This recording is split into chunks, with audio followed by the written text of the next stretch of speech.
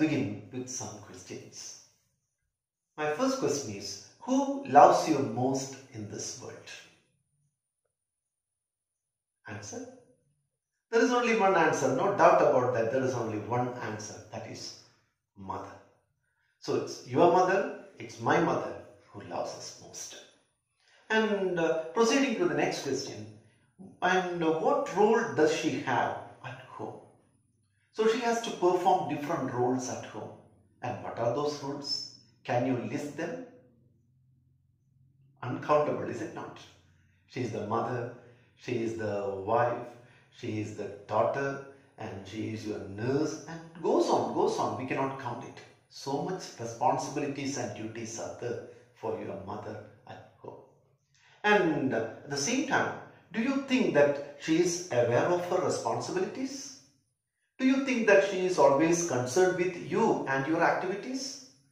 After plus two, you will be going to different hostels and you may be happy at the hostel, but can you think the same to be for your mother also? And she will be thinking about you, whether you are getting good food and whether you are being treated in a good manner by the authorities of the hostel. It goes on, goes on. So let us come back. So there is a poem for you that is any woman and I think all of you have read that poem. It's very simple, very simple and we know if the heroine is the mother. So that is the reason why it is so simple because the heroine is the person whom you know most. So need no need of any description. So it's the heroine is actually your mother. And the poem presents the multifaceted role of a mother home. She has to perform different types of roles. That is what this poem is presenting. And her all-embracing power to hold the family together. And she is the axis around which the whole family is constructed. It moves around her. So these are the things that uh, Katharine Tynan presents in the poem Any Woman. Let us go for an analysis of the poem. Here, the speaker, who is a mother, talks about her duties, responsibilities, strengths, and concerns inside the house. She begins the poem by describing the indispensable position of a woman in a family.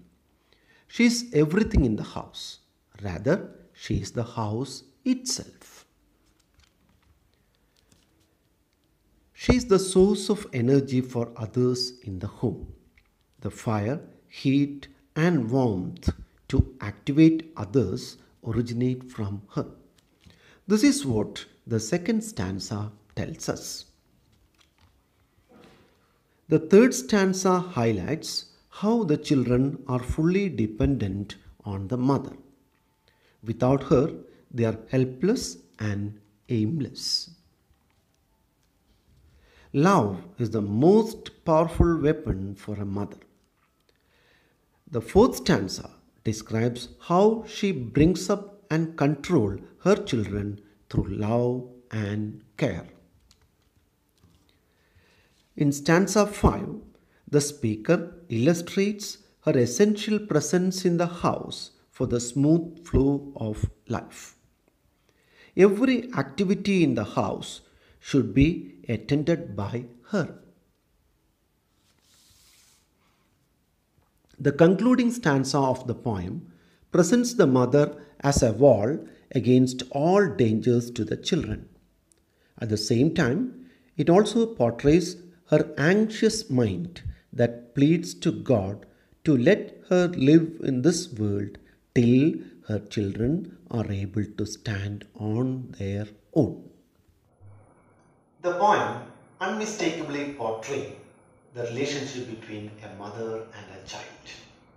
As we discussed earlier, it just presents the pivotal role of a mother in a home.